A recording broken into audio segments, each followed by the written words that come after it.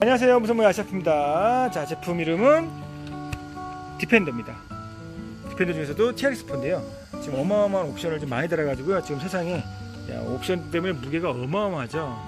자 그리고 타이어부터 시작해서 휠 다 재치가 없어요. 재치. 재치는 다 어디냐면 예, 재치는 다 여기 있습니다. 이게 지금 뭡니까 이게? 이게 뭡니까? 이게 플라스틱이 그냥 뭐 이렇게 많이 있죠? 그리고 옵션도 또 이게 추가적으로 하시네요.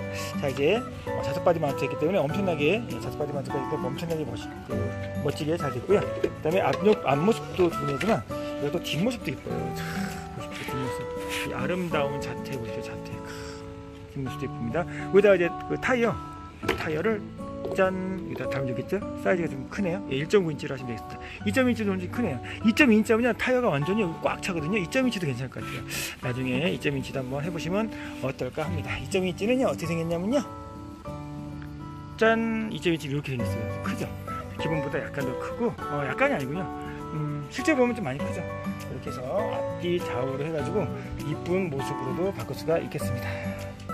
이렇게 해서 바꾸시고 이렇게 바꾸시고 그럼 바디에 꽉 차겠죠? 그쵸? 꽉 차는 거 느끼지 않겠습니까.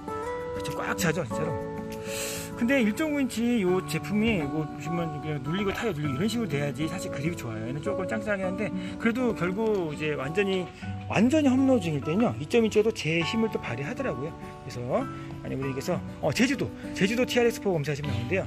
어마어마한 그런 내용의 그 빨간 옵션도 있고 여기도 옵션도 있고 여러 가지 옵션을 발라서 멋진 차량이 되었으면 좋겠습니다.